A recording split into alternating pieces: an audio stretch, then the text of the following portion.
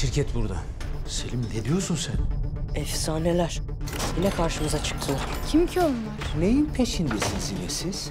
Hocam vallahi hiçbir şey peşinde değiliz. Bilekliği neden takip ettiğini bulmamız lazım. Yok bir de biz bunu müdürün odasına götürelim. Tekin Hoca'nın gözü üstümüzde. Yıldızlar'da en ufak bir hatamız için pusuda bekliyorlar. Hayalet sence neyin peşinde? Henüz çözemedik. Bir süredir Yiğit Efe'nin kolundaki bilekliğin peşinde. Bu işin de peşini bırakacak gibi değil. Çocuklar be- beni tutun. Neydi? Yetti mi yaptıkların yetti. Yerin dibine bastı be senin arkadaş olduğum günün. Tarihe not alın arkadaşlar. Kırılan güçler bugün bitmiştir. En son ne hatırlıyorsun? Koridordaydım. Vücudum felç olmuş gibiydi.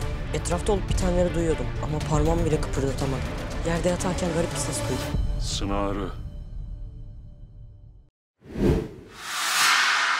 Kod adı Kırlangıç Pazar günü TRT 1'de.